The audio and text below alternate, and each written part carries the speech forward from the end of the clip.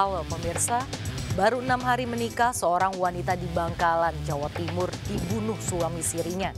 Pelaku sakit hati karena korban ternyata hamil tiga bulan dengan pria lain. Saya, Raisa Nadia, kita jumpa lagi di program Berita Kriminal. Bersama kita akan mengungkap dunia kejahatan dengan berbagai laporan kriminal dalam Sergap Investigasi.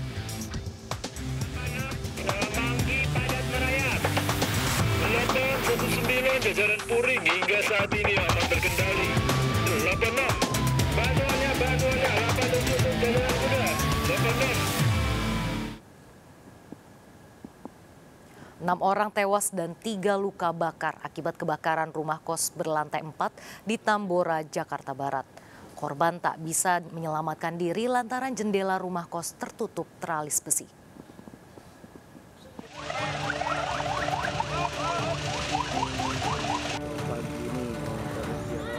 Api membakar sebuah ruko berlantai 4 yang dijadikan tempat kos di Jalan Duri Selatan, Tambora, Jakarta Barat.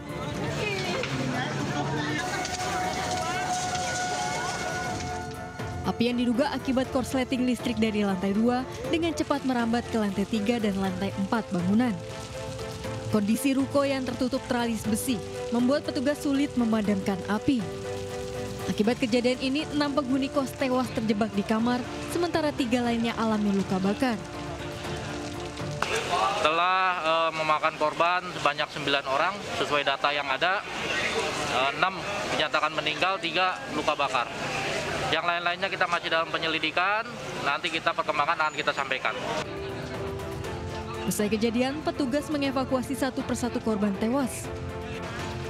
Sebelumnya polisi juga telah melakukan olah TKP. Banyaknya korban diduga akibat kondisi bangunan yang berjeruji besi sehingga para korban tak bisa menyelamatkan diri. Pemerintah Kota Jakarta Barat juga akan menyelidiki izin mendirikan bangunan tersebut.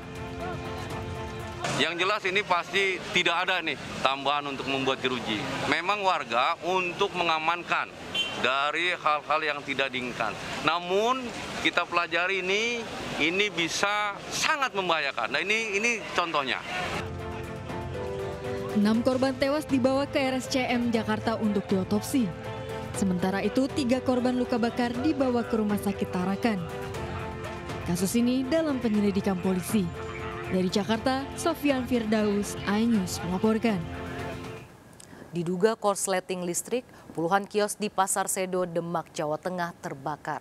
Sempat terjadi beberapa kali ledakan dari kios pedagang kembang api.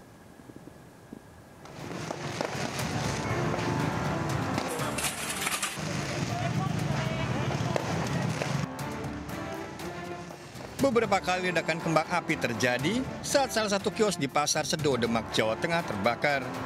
Kejadian ini mengejutkan warga sekitar. Peristiwa berawal saat salah satu kios yang menjual plastik diduga mengalami korsleting listrik. Banyaknya barang yang mudah terbakar membuat api cepat menyebar ke 48 kios lainnya. Belas.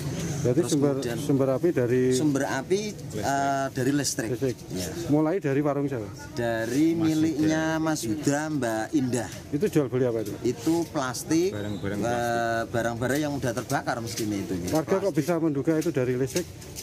Anu, kelihatan tadi itu api celarat-celarat gitu.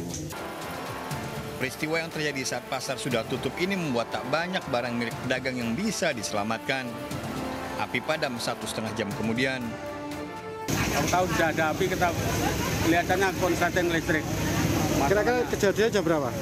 Jam 8. Tidak ada korban jiwa. Kerugian ditaksir 750 juta rupiah. Dari Demak, Jawa Tengah, Sukma Wijaya melaporkan. Tawuran warga saling serang menggunakan senjata tajam di Jatinegara, Jakarta Timur menodai peringatan Hari Kemerdekaan. Ironis, pelaku tawuran juga merusak fasilitas umum dan barang pedagang.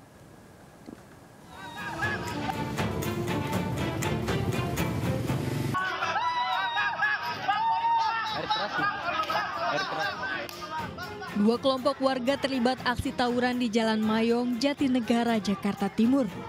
Para pelaku saling serang gunakan batu dan senjata tajam.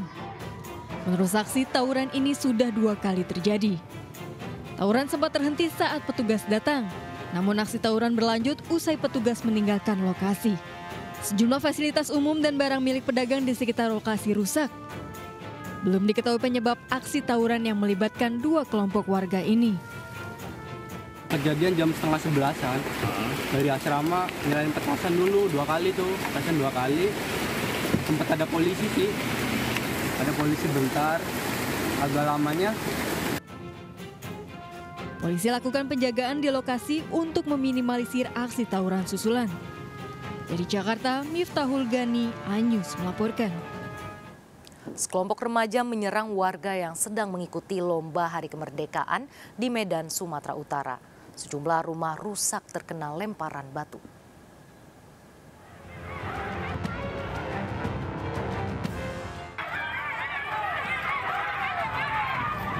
Video amatir merekam sekelompok remaja berupaya menyerang warga yang tengah merayakan perlombaan Hari Kemerdekaan di Gang 10 Kelurahan Belawan 2, Medan, Sumatera Utara. Pelaku pemuda yang diduga dari Gang 15 melempari lokasi perlombaan dengan batu. Tawuran antar kedua kelompok pemuda pun tak terhindarkan. Selain menggunakan batu, para pelaku saling serang menggunakan botol kaca dan petasan. Menurut saksi, tawuran merupakan buntut dari dendam lama antar pemuda yang telah terjadi selama bertahun-tahun. Akibatnya sejumlah rumah warga rusak terkena lemparan batu. Yang ianya orang gang 10 sama gang 15 ini nggak ada saling akur, saling dendam aja udah, itu aja. Hmm, memang dari tiga. Itu awal cerita kayak gimana Pak? Siapa yang nyerang duluan gitu? Orang sana, orang gang 15, nyerang Hmm. situ. Orang tuh lagi main acara 17 Agustus, Hmm. ada tiga orang, orang tuh nyerang ke sana. Hmm. Ah, itu dia orang gang 15. Ada korban Pak? Korbannya nggak ada, yang korban rumah warga lah, bolong-bolong semua dengan lemparan batu. Nah itu besar-besar batunya dilemparkan. Aksi tawuran berhenti setelah salah satu tokoh masyarakat dan petugas kepolisian tiba di lokasi. Dari Medan, Sumatera Utara, Yuda Bahar, iNews melaporkan. Kasat Lantas Polres Madiun, Jawa Timur, AKP Dwi Jatmiko mengamuk. Lantaran sang istri diduga menjadi korban pelecehan saat menghadiri upacara Hari Kemerdekaan di alun-alun Kota Madiun. Terduga pelaku mengaku terjatuh saat akan mewawancarai wali kota Madiun hingga tak sengaja menyentuh bagian belakang istri Kasat Lantas. Istri saya dari rumah yang saya jaga marwah suami saya.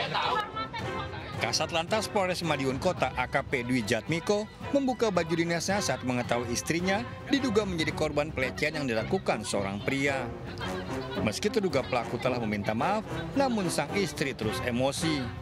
Peristiwa berawal saat terduga pelaku menghadiri upacara HUT RI ke-77 di alun-alun kota Madiun. Saat akan mewawancarai wali kota Madiun, pria tersebut terjatuh dan tanpa sengaja menyentuh bagian belakang sang istri Kasat Lantas AKP Dwi Jatmiko.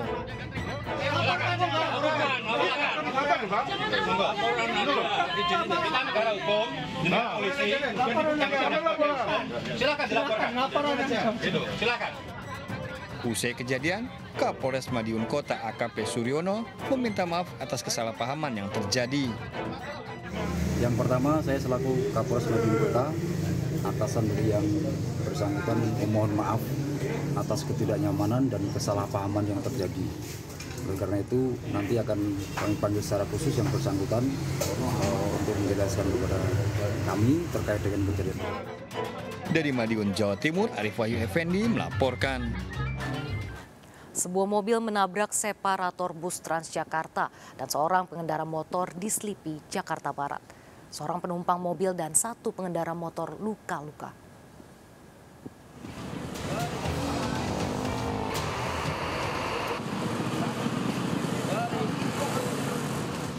Petugas berupaya mengevakuasi pengendara motor yang tertabrak mobil di Jalan Letjen S. Parman, Slipi, Jakarta Barat.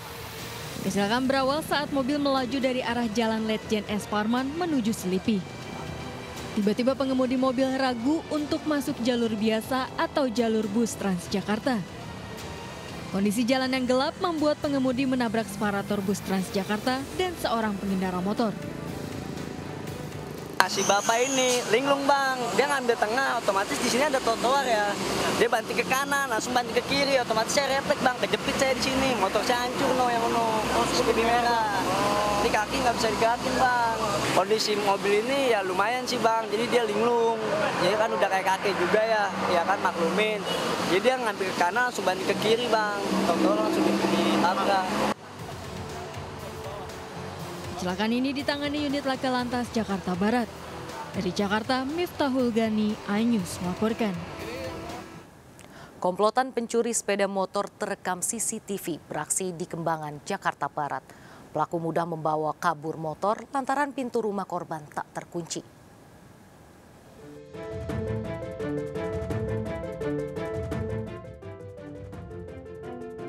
CCTV merekam seorang pria masuk ke dalam rumah kontrakan di Jalan Kampung Baru Kembangan Utara, Jakarta Barat. Pelaku beraksi bersama satu rekannya yang menunggu di motor. Memanfaatkan pintu yang tidak terkunci, pelaku mengincar salah satu motor korban. Merusak kunci kontak motor dengan santai pelaku membawa kabur motor korban. Kayaknya baru tiga kali. Sudah tiga kali. Kurun waktu berapa lama bu? Selama ngontrak di sini udah tiga kali nih. Kalau yang dua kali terakhir ini selang sebulan doang. Aksi pencurian sering terjadi di lokasi dalam sebulan sudah tiga motor warga hilang. Kasus ini dalam penyelidikan Polsek Kembangan Jakarta Barat. Dari Jakarta, Sofian Firdaus, iNews melaporkan. Pemirsa satu tahun pembunuhan Tuti Suhartini dan putrinya Amelia Mustika Ratu di Subang, Jawa Barat belum terungkap. Lebih dari 50 saksi diperiksa, namun polisi belum juga menemukan tersangka. Polisi menyerahkan kembali rumah lokasi temuan mayat pada keluarga korban.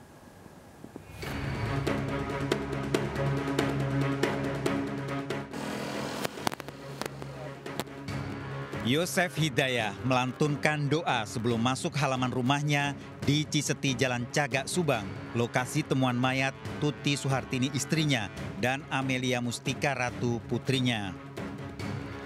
Selama satu tahun polisi terus melakukan penyelidikan termasuk di rumah lokasi temuan mayat. Namun rumah Yosef Hidayah karena tidak ditempati sehingga tak terurus, rumput yang tumbuh menjadi semak belukar hingga bagian teras. Di dalam rumah, kamar Tuti dan Amel, sejumlah barang seperti tempat tidur masih utuh.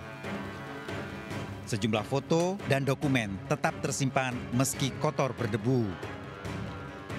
Yosef Hidayah selalu mengenang pertemuan terakhir dengan Amel dan Tuti malam hari sebelum terjadi pembunuhan.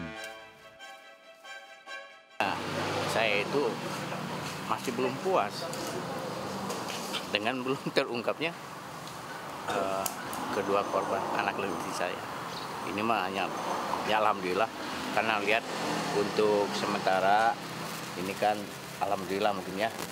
Saya itu sebetulnya suka lewat uh, melalui jalan ini kalau lihat ini tuh kayak hutan belantara. Jadi memang alhamdulillah mudah-mudahan uh, paling utama ini uh, membersihkan halaman biar kelihatannya nggak kumuh walaupun gak banyak pun juga uh, saya tidak ada yang ditakutkan apa ini ini anak dan istri itu anak yang soleh dan soleh soleh semuanya solehah dua dua duanya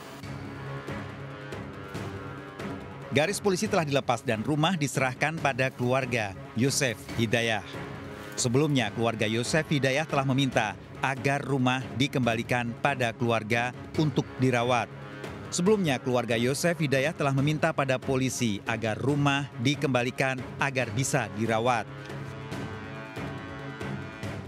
Ya ini salah satunya yang kita minta supaya TKP ini tidak terbengkalai, setahun tidak diurus, tidak terawat, untuk diserahkan kepada Pak Yosep. Hutan belantara. Ya ini kan teman-teman bisa lihat ini kondisi rumah setahun yang lalu dengan hari ini jauh berbeda. Alang-alang sudah penuh di halaman ini. Jadi dengan diberikannya TKP dilepas polis lainnya ini ini ini adanya kepastian hukum lah bagi Pak Yosep hari ini. Pak Yosep mulai hari ini bisa tinggal lagi di rumah ini nanti setelah siap. Tahun lalu, Tuti dan Amel ditemukan tewas di dalam mobil dan tanpa busana di garasi. Yosef bertemu kedua korban malam hari sebelum menginap ke rumah istri mudanya. Polisi telah memeriksa para saksi, bahkan melimpahkan kasusnya dari Polres Subang ke Polda Jawa Barat, namun belum ada tersangka yang ditetapkan. Keluarga Yosef juga telah membuat surat terbuka pada Presiden Joko Widodo agar kasus pembunuhan Tuti dan Amelia bisa terungkap. Pak Yosef juga berharap perkara ini tidak dipeti eskan, tetap dilakukan penyidikan dan betul informasi dari penyidik juga eh, penyidik di Polda dan Polres sampai hari ini masih bekerja. Ya mudah-mudahan ada ada tindak lanjut yang jelas lah kemarin ada penangkapan ada apa pemeriksaan saksi juga yang kemudian dilepaskan lagi. Nah ini harapan yang kita sampaikan minggu yang lalu melalui surat terbuka ke Bapak Presiden dan suratnya sudah terkirim, mudah-mudahan juga tersampaikan. Pertama kita ingin keadilan untuk para korban, berharap pelakunya segera ditemukan. Yosef Hidayah berencana mewakafkan rumah lokasi pembunuhan sebagai tempat ibadah. Dari Subang, Jawa Barat, Yudi Heriawan Juanda iNews melaporkan. Enam hari menikah, wanita hamil tiga bulan dibunuh suami siri. Pelaku sakit hati, cintanya dikhianati. Bagaimana pengkhianatan cinta berujung maut ini bisa terjadi? Ikuti informasi lengkapnya sesaat lagi tetap di Sergap Investigasi.